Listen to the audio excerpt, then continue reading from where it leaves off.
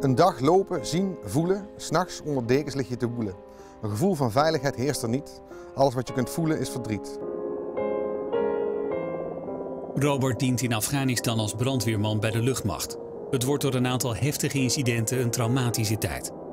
En op een gegeven moment heb ik naar mijn vrouw en naar mijn ongeboren dochter dan, ben ik gaan schrijven als een soort dagboek. En eh, volgens mij de derde dag heb ik eigenlijk eh, een gedicht erbij geschreven als einde. Uh, ja, gewoon mijn gevoel erin gelegd. En dat heb ik volgehouden tot het eind. Elke dag weer. Lang zal het gaan duren voordat het wat wordt. Alles kapot, vernield en geheel aan gort.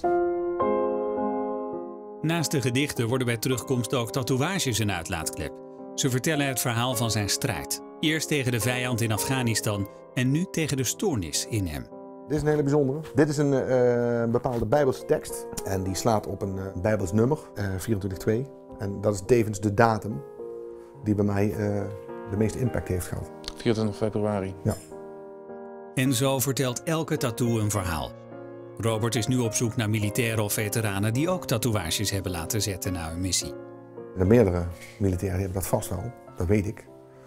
Maar als het gevoel overeenkomt met een gedicht wat ik heb, kan ik dat bundelen. En dat is eigenlijk mijn uh, streven om dat te doen. Hoe is het nu met je? Uh, naar omstandigheden goed. De meeste mensen zien me met een, een masker op, maar langzaam komen we er wel. En dit is, uh, voor mij nu is dat echt een, een oplossing om me daarop te kunnen focussen, dat ik daar een beetje meer ja, ook zelf uit kan putten, qua kracht. We werken aan een veilig thuis voor jou en ons toekomstig gezin. Waar moet dat heen, deze oorlog het begin? Straks ben ik er weer, veilig thuis. Maar dan, gaat het door, dit geruis?